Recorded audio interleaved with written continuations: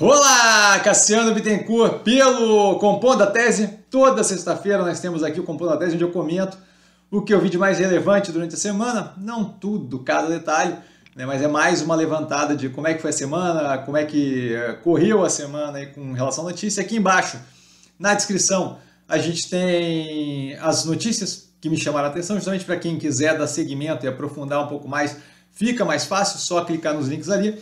Tá? De qualquer forma, sempre bom começar com um disclaimer. O que eu falo aqui nada mais é do que a minha opinião sobre investimento, a forma como eu invisto. Não é de qualquer forma, modo em geral. Indicação de compra ou venda de qualquer ativo do mercado financeiro. Mais do que isso, durante esse período eleitoral, quando eu faço comentário político, minha opinião, minha visão de política, eu não estou tentando alterar nem modificar o voto de ninguém. Acho que isso é relevante, dado que o canal é, é muito baseado em respeitar é, o próximo, especialmente na questão do direito a voto. Tá? A gente passa então para, os primeiros, é, para as primeiras questões aqui, né? A Radar Investimentos, falando ali, né, junto ao Notícias Agrícolas do Japão e a Coreia do Sul procurando o Brasil para a compra de carne bovina, algo que a gente comentou na semana passada e que a gente vem acompanhando, bem positivo para a Minerva, que está no portfólio, dicas de passagem subindo bem. Tá? O INCC desacelerando na segunda prévia de agosto, mais um sinal daqueles de arrefecimento do inflacionamento, nada que diga que o que, que, que estamos indo para deflação, nem nada disso, mas é um alívio bem positivo que deixa de pressionar a contínua subida de juros, o que justamente reforça aquilo que eu venho falando há bastante tempo, de que a gente não deve ter uma subida é, continuada, dado que, o, que, que a inflação não é propriamente estrutural. Tá? Então é algo positivo aí para a gente, é algo que a gente tem que acompanhar. O INCC, para quem não sabe, é o Índice Nacional de Custo de Construção, bem relevante ali para parte das construtoras. Tá? É, o Bolsonaro se irritando com o youtuber, e por que eu coloco isso daqui? Não é a questão da, da relevância do assunto, o assunto por si só não é relevante, é mais para me lembrar que neste momento, para quem está assistindo ainda sexta ou sábado de manhã, até o sábado à tarde, a gente tem no stories do canal um vídeo que é objetivamente uma das coisas mais engraçadas que eu já vi na minha vida, que é ganhei a semana com aquilo, aquilo ali com certeza vai quebrar a internet, e que, que é justamente a a dramatização aqui da questão de ele ter sido chamado de tchutchuca do Centrão e por aí vai é simplesmente de, de morrer de rir, independente do seu posicionamento político. Vale a pena dar uma olhada. A Dodge, e aí só a título de curiosidade, naquele negócio de evolução do carro elétrico, né, que eu, tempos atrás eu comentei, se não me engano, seleções inclusive, a questão de carro elétrico não ser mais uma, uma coisa específica ali, é de nicho da Tesla que está compondo cada vez mais, talvez na análise da Mobile que eu falo da Volkswagen, isso é, a gente tem é, o carro elétrico ganhando é, relevância para montadoras de grande porte, a F-150 Lightning, por exemplo, é a F-150 Lightning é um dos modelos ali que tem feito sucesso nos Estados Unidos e tal.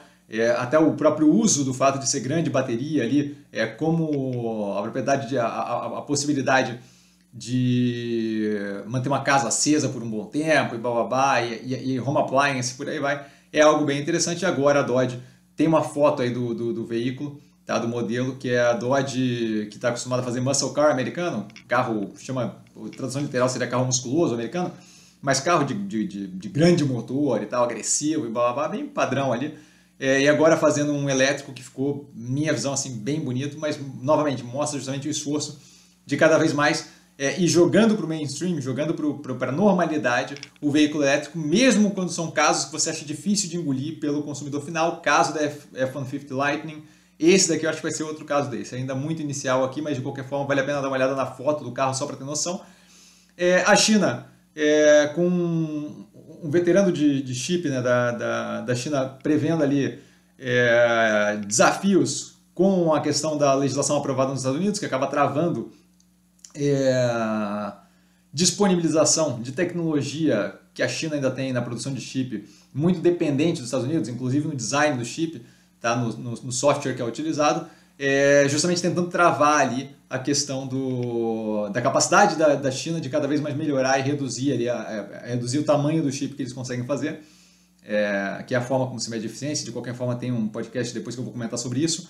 É, é travando a evolução tecnológica deles no que tange a produção de chip. Isso daqui remete àquilo que eu comentei do conflito Estados Unidos, China, Taiwan, que não tem simplesmente como desandar completamente, porque não é justamente do interesse da China ter uma relação cortada, rompida com os Estados Unidos. Esse daqui é um dos fatores que eu comentei aquele dia. É a, a economia muito entrelaçada, a parte de chip e a, e a, e a necessidade deles ainda terem, de ainda terem independência de partes dos Estados Unidos para evoluir é, tecnologicamente faz com que a decisão pragmática leve a justamente é, tudo bem, ficar naquele negócio de provocação, mas não chegar às vias de fato. Tá?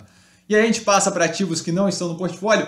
A Arezo, que já teve no portfólio, planejando importar novas marcas, e eu acho que tem relação com as quatro ou cinco marcas que o Alexandre Birman pensa em licenciar. Tá? É, acho que é bem interessante a expansão ali deles, dependendo das escolhas que forem feitas, mas a, a operação como um todo é uma operação que eu sempre gostei descasou um pouco do que eu vejo como positivo com as últimas compras deles de operações, mas, mas mesmo assim é, é, é uma operação que eventualmente eu acompanho até para dar uma olhada. Acho que o preço está um pouco esticado nesse momento, mas, mas de qualquer forma sempre olho.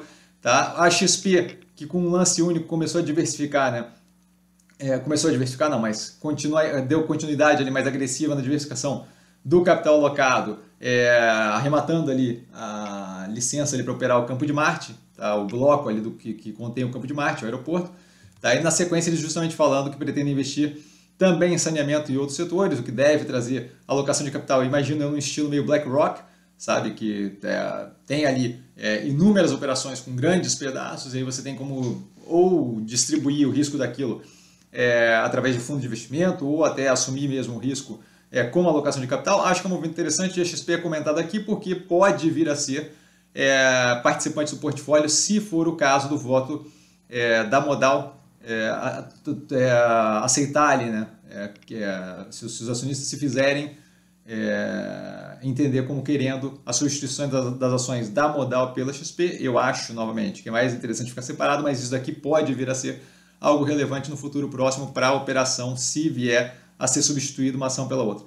A Fertilizantes Heringer, que a gente não tem nenhum contato, desabando 13% com um alerta, alerta feito pela própria companhia é, de possível fraude, Tá? É, boto aqui mais porque é algo bem relevante que alguém pode ter a operação, aí acho que vale a pena estar é, tá por dentro. Tá? É, e por último, aqui falando de outros ativos, a Edux buscando fusão com concorrente, o que obviamente faz a gente pensar diretamente na Cogna. Pode ser, pode não ser, eu não vou ficar especulando, mas assim, quando um competidor seu começa a falar de fusão, nem de aquisição, quando eu falo fusão, eu normalmente já falo de uma operação de maior porte, é, e você está comprado lá, que é o nosso caso com a Cogna, você começa justamente é, se atentar para a possibilidade de negociação. Não muda nada na tese, tá? especialmente não, não acho que a equipe da, da Cogna ele faria algo é, em proporções que fossem é, não positivas para a operação, tá? mas não deixa de ser algo a, a, a se manter no radar, não para confabular e ficar tentando adivinhar o que vai acontecer, mas só para ter, é, para caso as coisas se desenhem assim, a gente não está sendo pego ali de, de, de calça curta, certo? É, falando dos ativos do portfólio, a gente tem o Doutor Prev, que não é propriamente do portfólio, mas blá blá blá, carteira de cliente, a gente sempre observa, está descontada, aumentando aporte na desenvolvedora de soluções odontológicas Makiran, Machiran, acho, não saberia pronunciar isso, Makiran, acho, é. Mas de qualquer forma, sinta-se à vontade de pronunciarem como quiser, não estou aqui para essa parte. O Lula falando em enquadrar o Banco do Brasil, tá? É, para que não haja como banco privado. É, acho que é algo que a gente tem que sempre levar é, a sério a questão de, de, de, ser feito esse tipo de, de comentário.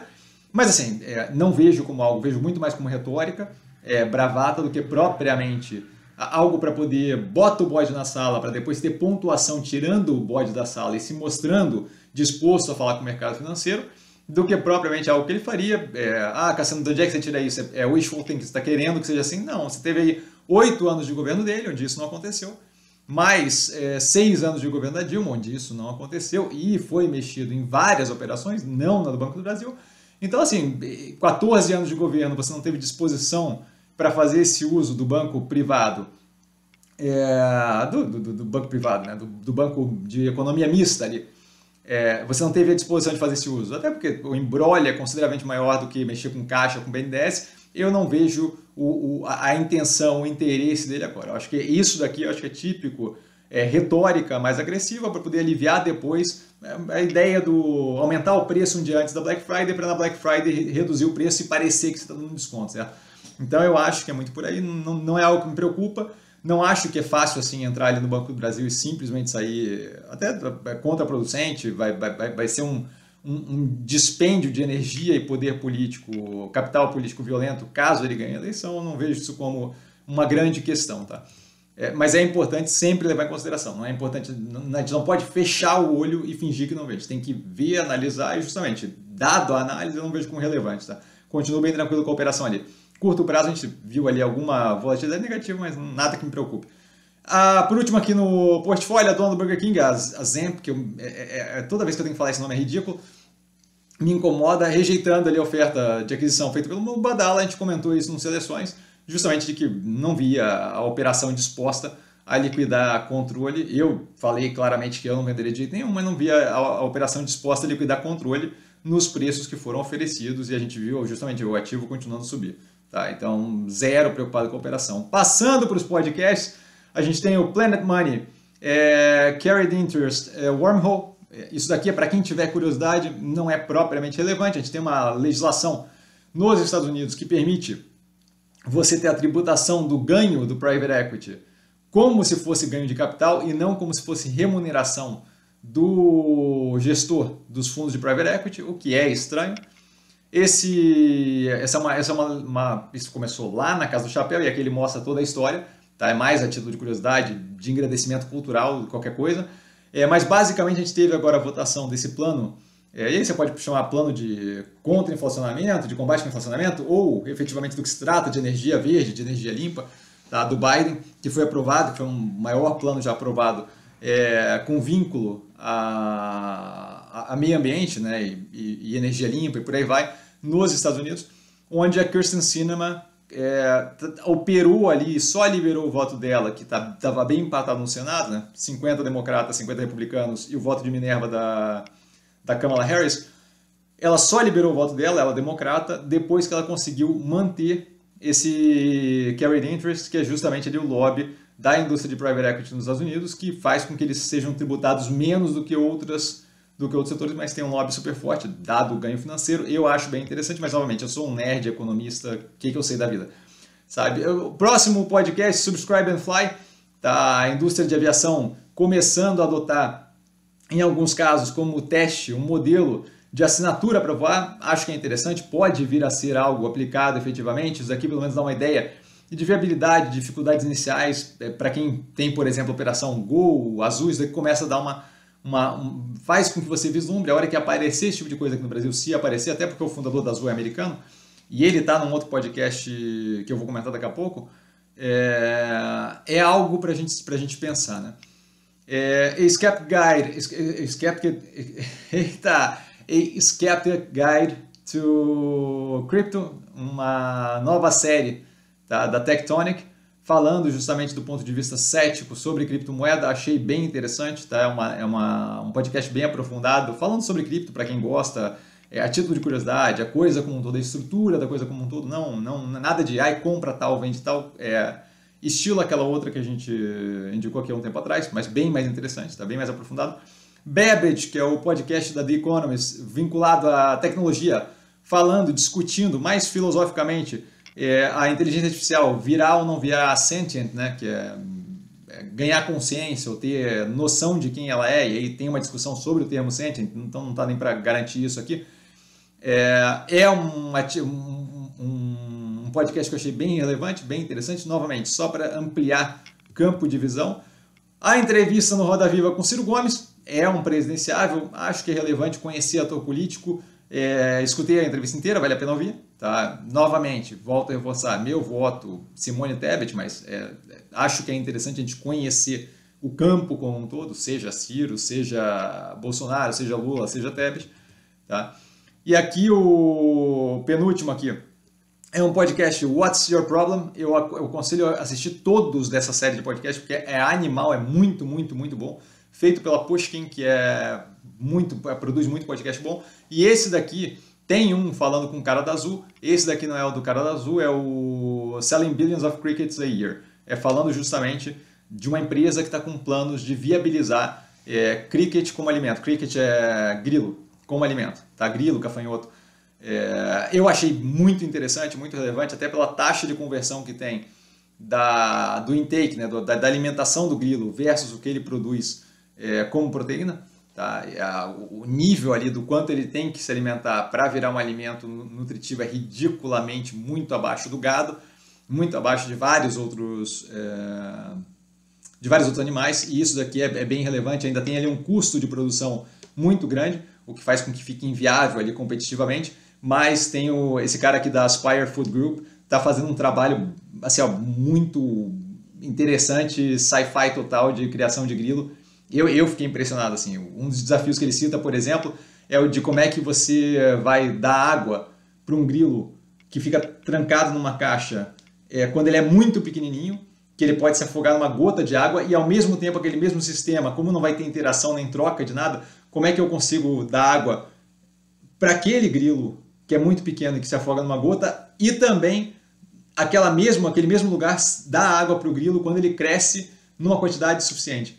Então, é toda essa resolução de, de, de problema, troubleshooting animal, assim, achei muito, muito legal. E por último, o negócio do chip que eu falei, tá? China versus the US in the battle for semiconductor supremacy, que é justamente um do é, SCMP, South China Morning Post, tá falando justamente sobre a questão toda de, primeiro dando uma introdução de como é que funciona o mercado de chip, a, a, as três etapas de design, de fabricação e de teste no final, tá? E justamente qual é a, a relevância que tem FAB, as, fra, as fábricas, é, qual é a relevância que tem o design, o software que foi comentado lá que é americano e que alimenta grande parte da produção de chip da China no que tange o design do chip, bem, bem interessante, mas, novamente, para quem quiser aprofundar, tá? nada disso aqui é tarefa de casa, só para quem quiser expandir, também não tem necessidade de assistir tudo. Tá, vai que um interessou, vai que outro não interessou. Hoje tem mais em inglês do que em português, eu entendo que nem todo mundo é, consegue lidar com inglês, mas assim, vale a pena, é o conteúdo ali bem legal, tá?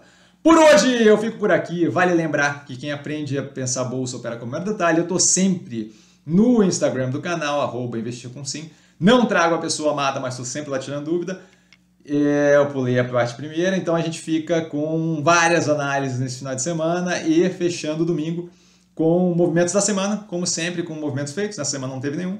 E justamente os ativos mais descontados que deve ter, é, possivelmente aí aumento né, dos ativos mais descontados, dada a derretidinha que deu em alguns ativos esse, esses últimos dias. Tá? Um grande beijo a todo mundo e a gente se vê amanhã para as análises. Valeu, galera!